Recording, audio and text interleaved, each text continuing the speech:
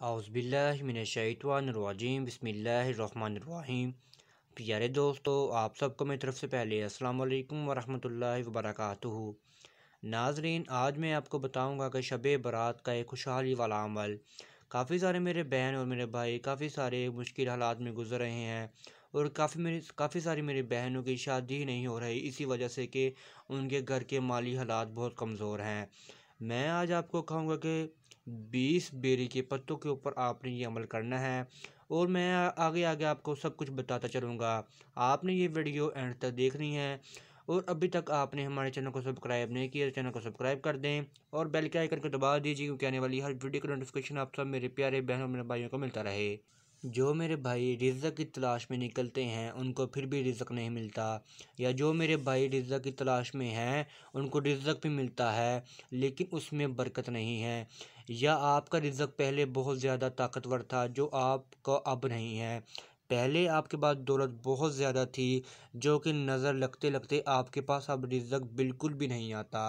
रिजक से मुराद, जो आपके घर ख्वाहिशात हैं वो अब आपकी पूरी नहीं होती। आपका घर का खर्चा ये बहुत मुश्किल से चलता है।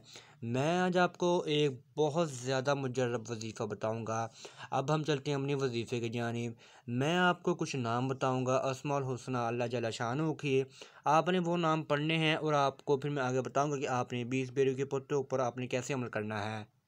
अगर आपको अब किसी की नज़र लग चुकी है, या आपसे जो पहले हसद करते थे, उनकी नज़र लग चुकी है, आप हमारे हज़रत मोहम्मद सल्लल्लाहु अलैहि वसल्लम ने फरमाया कि हसद की नज़र कब्र तक पहुँचा के सांस लेती है। आपको चाहिए कि हसद की नगाहों से बचें, अल्लाह ताला ने दिया है तो उनको छुपा के रखें। आपको ये मैं अमल बताऊँगा कि जो आपको नज़र लग चुकी है, जो आपका रिज़क अब इतना भरपूर नहीं होता, अगर आपको इतने पैसे आपके पास नहीं आते, पैसों का ये अमल है, पैसों का खेल है सब कुछ, आज दुनिया पैसे की है। अगर आप पैसों की होने चाहते हैं पैसों की तरफ़ अगर आप भागते हैं, अगर आपको पैसा नहीं हासिल होता तो आप ये अमल करके देखें इन अल्लाह ताला पाक है, अल्लाह ताला आपकी दुआ ज़रूर कबल मंदू फरमाएँगे। जैसे कि ऊपर लिखा हुआ है असमाल हसना, अल्लाह जल, अल्लाह शाह आपको मैं ये वजीफ़ा बताऊँगा बिसमीम अल्लाह के नाम से शुरू जो बड़ा मेहरबान नहायत रहम वाला है, ये आपने लाजमी पढ़ना है। बिसमीम आपने लाजमी पढ़नी है। फिर मैं आपको यहाँ पे बताऊँगा कि यहाँ पे लिखा हुआ है अलकुदूसु ये लिखा अलकुदूसु अलसलाम ये आपने अल्फाज दो पढ़ने हैं। अलकुदूसु का मतलब है पाक, और सलामू का मतलब है सलामत रखने वाला। इसका मतलब है पाक सलामत रखने वाला। ये आपने नरिनवे नरिनवे बार पढ़ने हैं अलकुदूसु आपने पढ़ना है। इसका मायने है पाक नरिनवे बार पढ़ना है। असलाम भी आपने सलामत रखने वाला आपने नरिनवे बार पढ़ना है।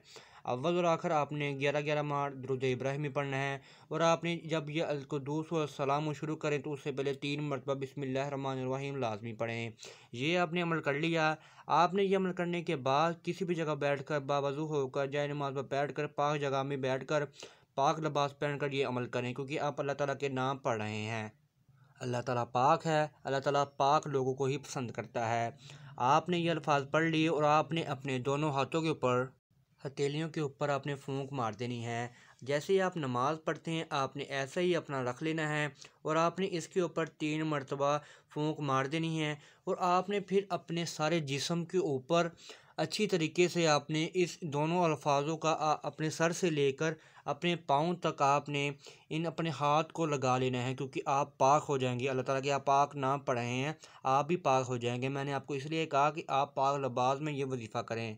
और फिर जो मैंने आपको पहले बताया कि आपने बेरी का अमल कैसे करना है, आपने बीस बेरी के पत्ते ले लेने हैं, आपने उसके ऊपर पड़ के नहाना नहीं है, क्योंकि आप उसके ऊपर पड़ के नहाएँगे तो जो गंदा पानी जो आपके पानी ऊपर डालेंगे, वो पड़ा हुआ पानी गटर में जाएगा। आपने ऐसा नहीं करना। आपने अल्लाह ताला के नाम पढ़ने हैं। आपने पहले नाम पढ़कर अपने सारे जिसम में वो अपना हाथ लगा लेना है और फिर आपने उसी वक्त जाकर आपने बीस बेरी के पत्ते लेने हैं और बीस बेरी के पत्ते लाकर आपने गर्म पानी से नहाना है। हल्का गर्म पानी करके आपने वो तीन डब अपने ऊपर डाल लेने हैं। अगर आपने ज़्यादा डब डालने हैं ज़्यादा डालें, नहीं तो कम अज़ कम आप तीन लाजमी डालें। आपकी जो भी परेशानी है, आपको किसी की नज़र लगी है, आपको किसी की हसद से आप दो चार हैं, आपके अगर घर पैसा ही नहीं आता तो इन आपके घर पैसा आना शुरू हो जाएगा। अल्लाह ताला पाक हैं, अल्लाह ताला आपकी दुआ ज़रूर कबूल फरमाएँगे। ये वजीफ़ा आपने पंद्रह शबान, शब बरात के दिन करना है। आप ये वजीफ़ा किसी भी वक्त कर सकते हैं पंद्रह शबान को। मैं उम्मीद करता हूँ आपको ये मेरी वीडियो अच्छी लगी होगी। अगर आपको ये वीडियो अच्छी लगी है तो लाइक कर दें और ज़्यादा से ज़्यादा शेयर कर दें। मुझे दुआ में ज़रूर याद रखा करें। इन नेक्स्ट वीडियो में मुलाकात होगी। अल्लाह हाफिज़।